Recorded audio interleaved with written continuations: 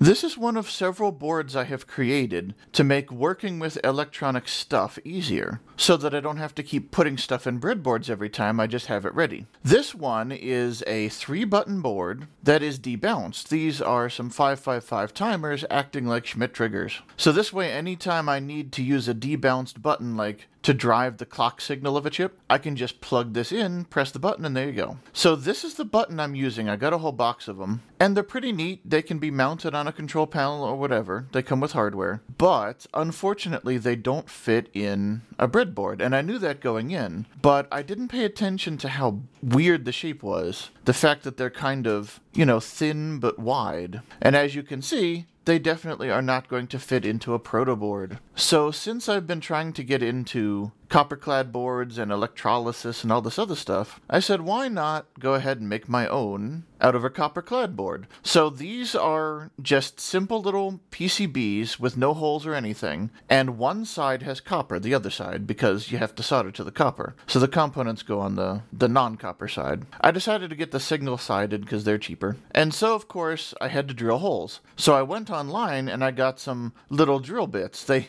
they range as small as 0.3 millimeters and yes, they break extremely easily, but they were very cheap. And lucky they came in a two pack, so I have spares. So I did some testing to try and figure out how I'm going to drill holes for these switches. Because everything else is easy, you just use the drill bit and you make some holes. Like here, I was testing the holes to fit the 8 pin dip. And I was trying to do it so that it was roughly the shape, because see how it's wide but it's thin? But I discovered that it is incredibly difficult to try and drill a hole and then make the hole bigger with a drill. What you'd really do in a situation like that is you would drill a hole and then you'd use a jigsaw and stick it in there and widen the hole that way. You know, you start with a pilot hole. The trouble is, my jigsaw blade is nowhere near that small, and it's almost impossible to, to actually get this working, so I just decided on making gigantic holes. So there's a lot of open space, but as it turns out, that was fine. So there's no problem at all, just make big holes, they're nice and easy. So here,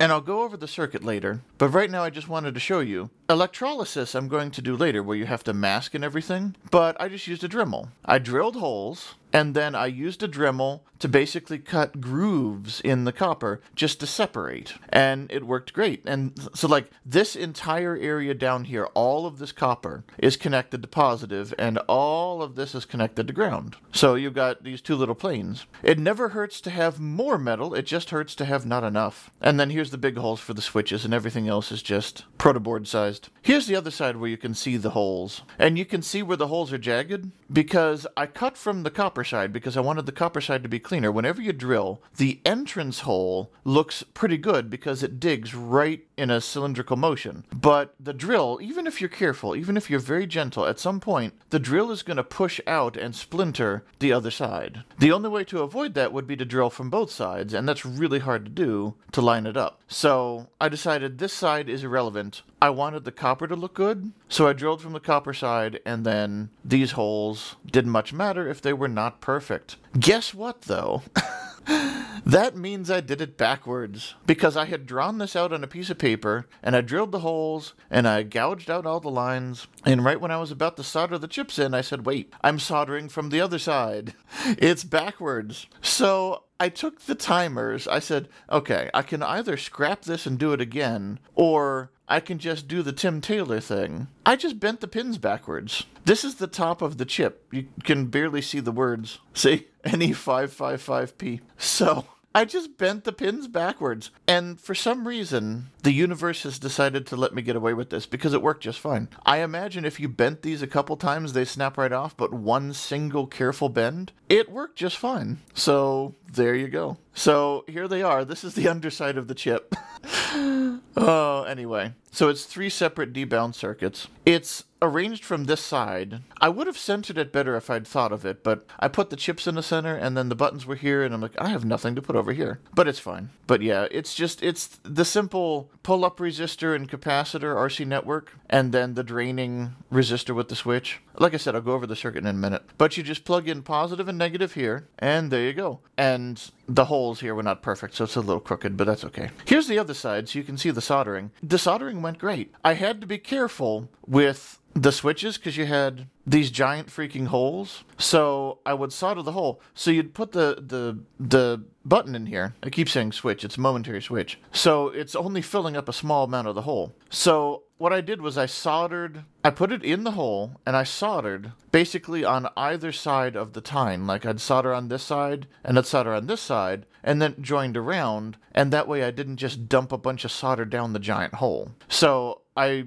I basically just held the warmth long enough for the solder to begin to run up the leg of the button, and that was good. And yes, that is one thing I learned thanks to my viewers. Thank you, viewers. When you have a situation like this where there's a lot of metal, soldering like these, where you've got all this metal, it was heat sinking the soldering iron, so I had to hold it for a long time, and then the whole thing was hot. So if it doesn't solder right, remember you have to, you know, maybe turn the temperature up and hold it there for a minute to make sure it gets warm so it adheres. But that's all it was. That was the only challenging one. Everything else, solder behaves, it, it sticks to metal and it doesn't stick to non-metal, uh, uh, essentially. So everywhere there was a gouge, it just kind of domed up and it never tried to run. I only accidentally bridged it one time. Here, I've held it up with a lamp behind it so you can see the gouges. It's a pretty neat effect, but it's a little more clear, you know, removing the copper and how the solder is not in any of the, the gouges, the grooves at all. So yeah, it, it, it soldered great. It worked out fine. And you got these giant things of metal, so I had to use extra solder to make sure it stayed on, because it wanted to spread over the whole thing. So I had to make sure it stayed in a little bubble instead of pouring all the way across. And then I've got the three pins for the signals. These are the signal outs and then positive and negative. And so because it's physical switches, it'll run on any voltage. The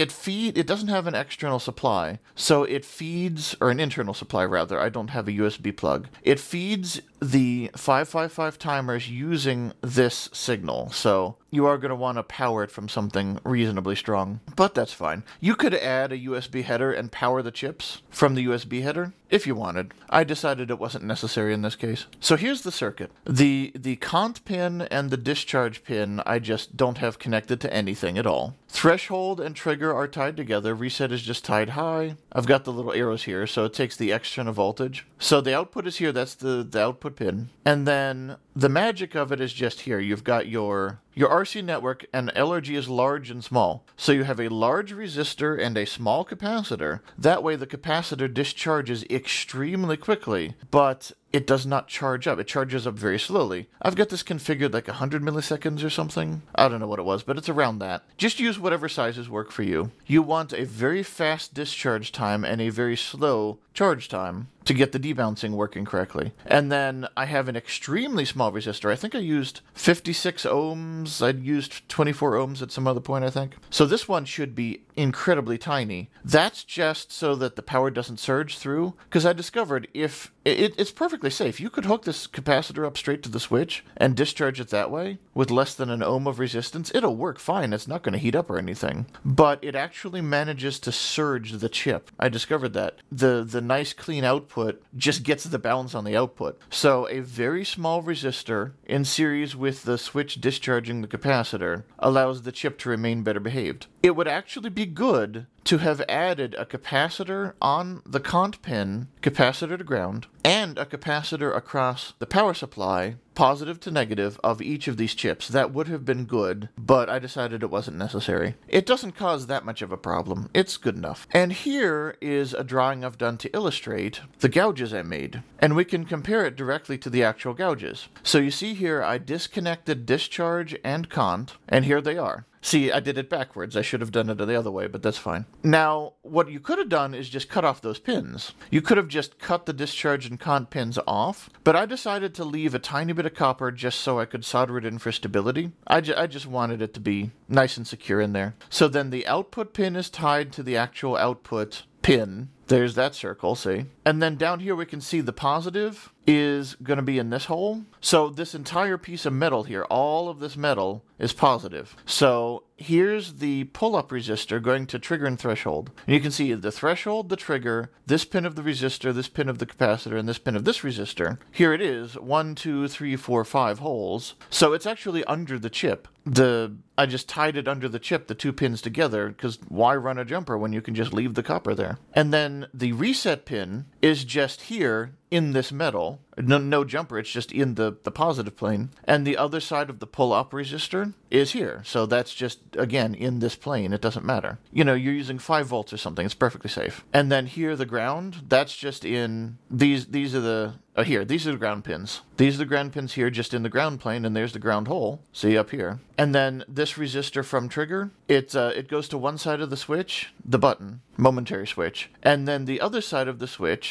goes into the ground plane. So here it is. So the resistor, so the resistor would be here, and here's the other leg of the resistor to one leg of the switch, and then the other leg. And then finally the capacitor. So the capacitor would be here, and here's the other side of the capacitor in the ground plane. It's it's great. It's I came up with this idea. I, I basically looked at the pinout of the chip. I said, the chip is going to be the hardest thing to figure out because everything else has got wires. It's got legs. I can just run it however long in whatever direction I want. So let's start with the chip and figure out how I want it laid out. And I got the idea because here's reset and here's VCC and here's this. And I'm like, well, why can't I just have it all connected? So there you go. So this is how you can use a copper clad board, a Dremel or other rotary tool, whatever you want, manual scraper, any way to get the copper off, and a drill. You just need to get your little drill bits because 1 16th of an inch is the smallest my regular drill bit set goes. And that's way bigger than this. These are 1 millimeter. Uh, I also use point, well, I broke one of my 1 millimeter, so I also used 0.9 millimeter. That seemed to work fine. And then, of course, this, I don't know what it was. It was just whatever size this fits in. But that was a regular drill bit. But in my first attempt, I broke quite a few drill bits. I broke quite a few drill bits trying out different methods. And you can see the raggedy copper here from drilling from the other side. So definitely drill from the copper side. And then these are Dremel test holes. But yeah, so that's it. So I will be doing this with electrolysis with a mask in the future, you know, a proper with traces PCB. But for something like this, this works just fine. It works just fine. It's nice and easy. Not one single jumper. Not one single jumper. It's so pretty. But anyway, that's enough for this board. On to the next. Until then, I'll be seeing you.